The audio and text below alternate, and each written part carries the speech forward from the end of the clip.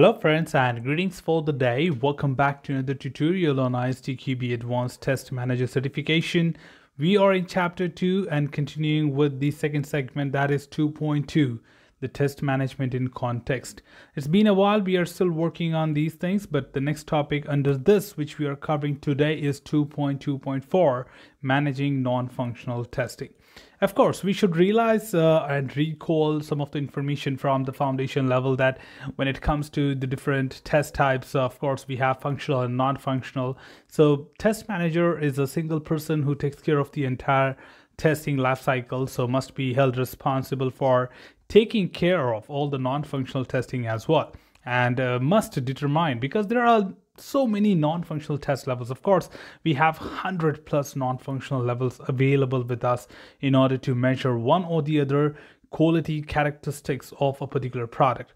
And of course it becomes very crucial for the test manager to identify and determine that which non-functional levels of testing must be significant and important for the product which you are making or testing right? Because not everything will be executed for every individual product. So just make sure being a manager you need to determine and decide that which quality characteristics are important or probably are applicable and those levels only must be executed. Because sometimes your non-functional levels can be very expensive as well or probably difficult to conduct or difficult to maintain so wise decisions must be made at this point of time uh, by the test manager in coordination with the test and technical test analyst. Because of course, test analyst takes care of the functional and technical test analyst takes care of the non-functional side of the product.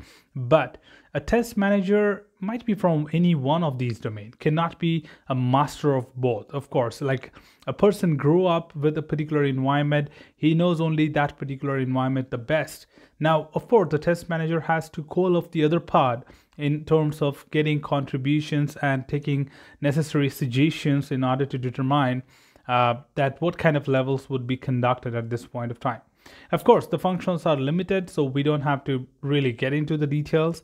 But when it comes to non-functional, of course, a technical test analyst must be contributing and supporting the test manager in order to determine what would be the most relevant.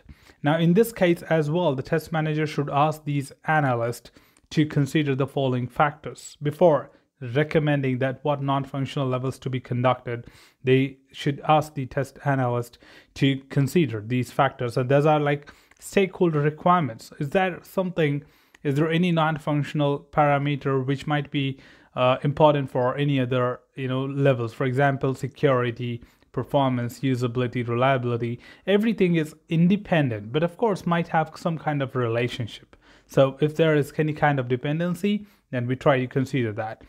Required tooling what kind of infrastructure and tools support would be required in order to run a non-functional test? Environment of course the environment plays a vital role and could be very expensive in order to set it up uh, to conduct certain non-functional levels. So make sure that you do consider these factor. Of course, organizational factor, which includes the people, the team you have, what kind of skill set and proficiency or past experience of conducting such levels do you have.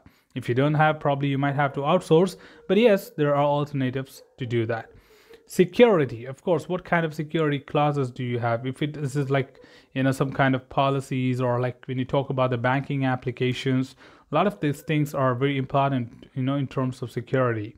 So just consider that. Is that everything can be shared with someone or not everything can be shared?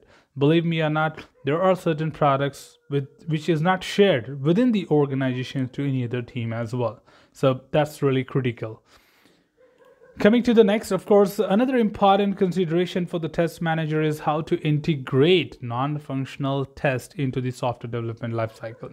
Of course, most of the time we keep engaging ourselves with the functional testing and we generally make that common mistake to wait until all the functional tests are over are completed prior to non-functional testing and then we realize that we do not have enough enough time or probably when you start running those non-functional tests and you get woo, surprises from the functional testing, right? So it's very always recommended that a test manager must align these non non-functional activities much earlier in the life cycle. So they should not just push the things that, okay, non-functional or hectic, so let's do it at the end. No, probably the security testers must be invited to review the design and the architecture.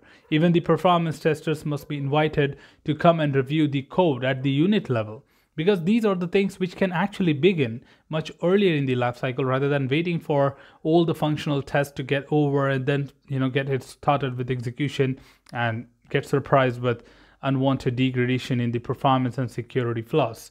So even if you talk about some of the certain examples here is like you know usability reviews of user interface prototypes during the system design can be quite effective.